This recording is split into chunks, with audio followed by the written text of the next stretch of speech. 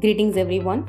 Manupatra brings to you the news highlights of 12th December 2022. Starting with the Supreme Court. The Supreme Court, while observing that army authorities are not treating women officers fairly in giving promotions, has cautioned the authorities that it would pass preemptory order to ensure promotion of women army officers. The Apex Court has stayed the operation of the direction of NGT Eastern Zone Bench Kolkata to West Bengal government to ensure that public transport vehicles below BS4 are phased out within a period of 6 months. The Supreme Court, while relying on the principles laid down in Manoj vs. State of Madhya Pradesh, has stayed the execution in two death penalty matters and directed psychological evaluation of the accused. The Supreme Court, while observing that a female member of the scheduled tribe is not entitled to any right of survivorship under the provisions of Hindu Succession Act, has urged the central government to consider whether it is necessary to bring a suitable amendment in this regard. The court has held that strict rules of evidence as applicable in a criminal trial are not applicable in motor accident compensation cases. News highlights from the High Courts. Starting with the Bombay High Court, the hmm. Bombay High Court has held that Hudson's formula is widely accepted in construction contracts for computing losses and therefore the application of the same is not unreasonable.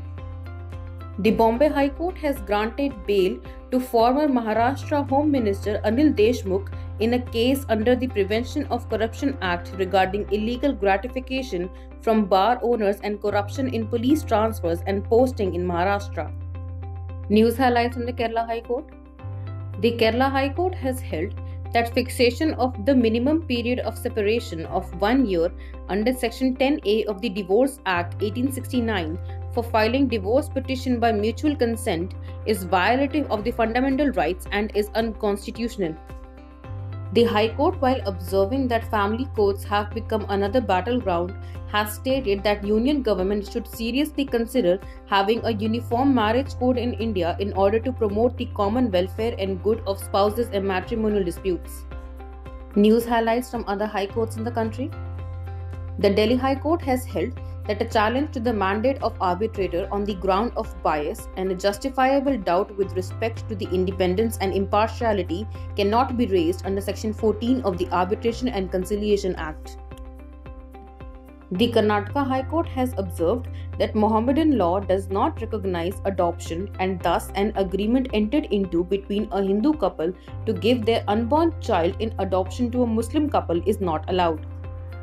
The Calcutta High Court has held that rule of estoppel under section 116 of Evidence Act bars a tenant from denying the title of a landlord in respect of immovable property at the beginning of the tenancy during pendency of a license or sublease in respect of such immovable property.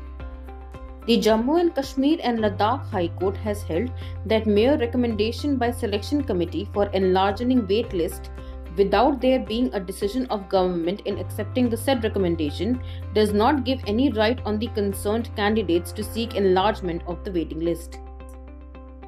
The Madras High Court has held that the Revenue Divisional Officer, which is a rent authority, does not have the powers to order for recovery of possession as per the Tamil Nadu Regulation of Rights and Responsibilities of Landlords and Tenants Act 2017.